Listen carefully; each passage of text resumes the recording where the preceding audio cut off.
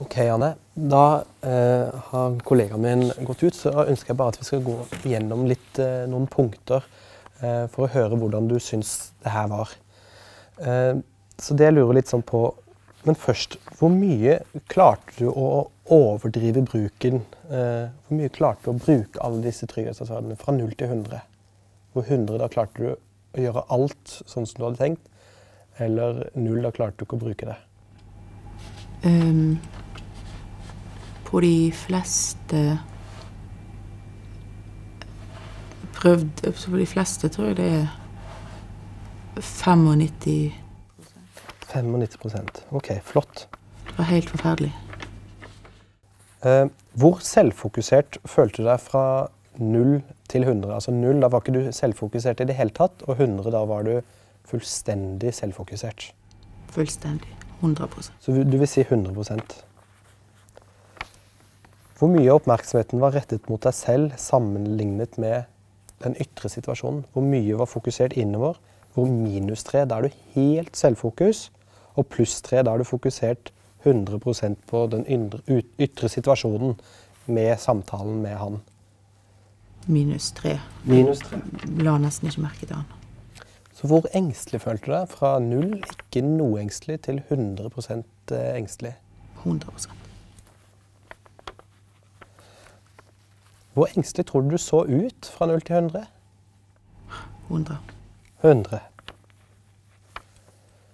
Så hvor mye skjedde det du fryktet? Eh, det at du ville snakke usammenhengende, eh, og at Peter ikke ville forstå hva du sa. Hvor mye skjedde det?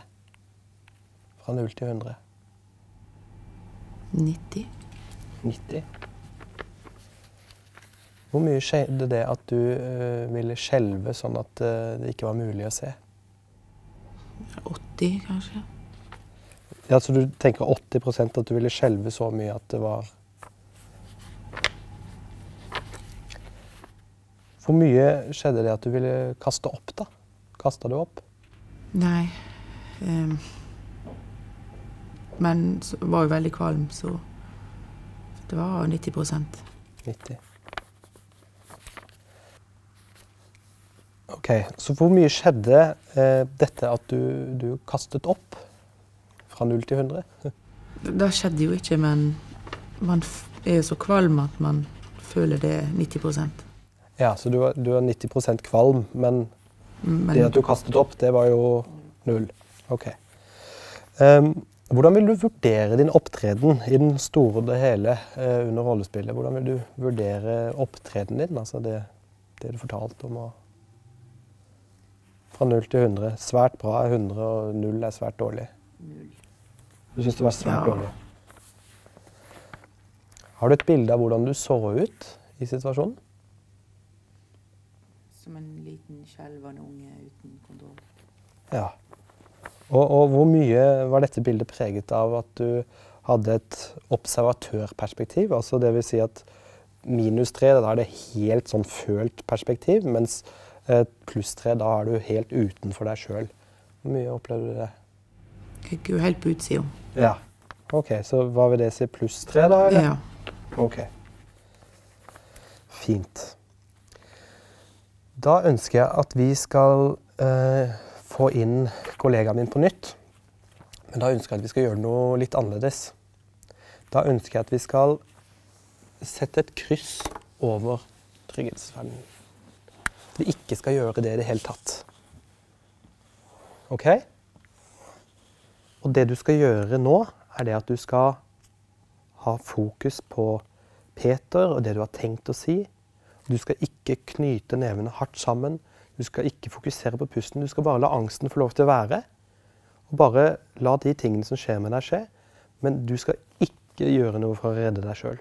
Og du skal ha et fokus på det som skjer rundt deg. Du skal opptre spontant og, og levende, hvis en kan si det sånn. Som om dette var en, eh, en tur som du vil gjerne fortelle om. OK. Ok? Gir det mening? Jo, det, det gjør jo det, men Det høres helt forferdelig ut. Ja, jeg skjønner det. Og det jeg ber deg om nå, er det at du skal la være å gjøre det som du tidligere har gjort for å redde deg sjøl. Men det jeg ønsker, grunnen til at jeg ønsker, ønsker det, er å se Skjer de tingene jeg frykter, hvis jeg dropper dette? OK? Ja. Så se hvilken effekt det har på angsten vår eh, og selvfokuset. OK? OK. Og da ønsker jeg at du skal sette et kryss over det, du skal droppe det. Så det vil si at du skal ikke knytte hendene sammen. Du skal ikke fokusere på pusten. Du skal ha blikkontakt. Du skal sitte normalt i ro, ikke konsentrere deg om å sitte i ro. Og du vil ikke ha fokus på stemmen din. Du vil bare snakke. La det som kommer, komme. OK? OK. Og så kunne jeg gjerne tenkt meg at vi uh, kunne drikke noe vann. At vi kunne Underveis så vil jeg si ta opp vannet, og så vil jeg skåle med deg. Sånn at vi kan se hvordan effekt det har. OK? Om vi vil få til det. Ja. Står det klart for deg hva du skal gjøre nå? Ja, men da Jeg har ikke lyst. Nei. Jeg skjønner det.